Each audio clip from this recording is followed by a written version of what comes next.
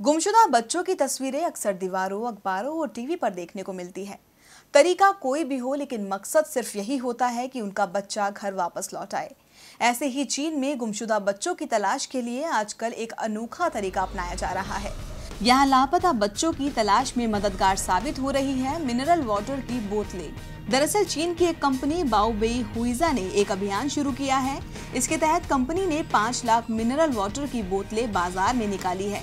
इन बोतलों पर खोए हुए बच्चों की फ़ोटो और उनका बायोडेटा प्रिंट किया है, जिसमें पेरेंट्स का नाम और फ़ोन नंबर भी है। आपको बता दें कि ये अभियान काफ़ी कारगर साबित हो रहा है। इस पहल से अब तक 1700 से ज़्यादा बच्चे अपने घर लौट पाए हैं। एक माँ का तो छह साल से गुमशुदा बेटा मिल गया। इस सफलता से उत्साहित होकर करीब बत्तीस हज़ार परिजन अपने लापता बच्चों की तलाश के लिए कंपनी की वेबसाइट पर रजिस्ट्रेशन करा चुके हैं।